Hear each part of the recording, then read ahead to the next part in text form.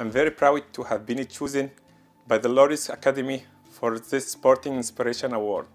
2020 was a very difficult year on so many levels and for so many people around the world.